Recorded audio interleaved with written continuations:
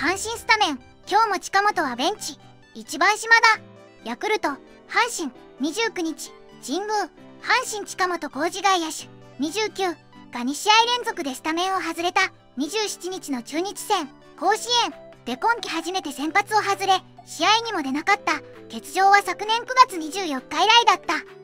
チーム事情で6月は4番も任された。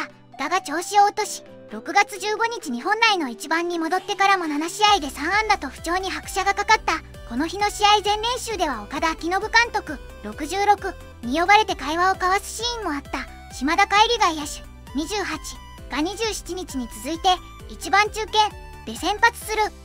今日も島田1番だ。スタメンではないが野口の代打起用も楽しみやな。1打席は野口の打席みたいな。島田頑張れ野口いきなりスタメンはないか。残念。近本さんの代わりとかそんなこと思わんでええから思いっきりアピールしなはれよ。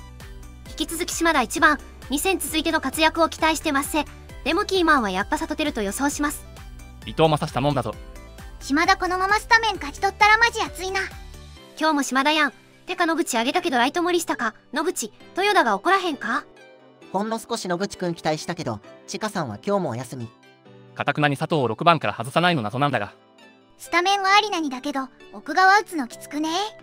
なぜ佐藤前側を上位にしないのかこれがわからない。伊藤正也期待はしてない。まあ5得点くらいあれば。野口くん前側はほぼ固定として森下も豊田も使いたいからな。DH 欲しい。島田出るからには頑張ってくれ。地下今日もベンチなのか。まあ現状で考えうる妥当なスタメンやな。ご視聴ありがとうございましたチャンネル登録よろしくお願いします。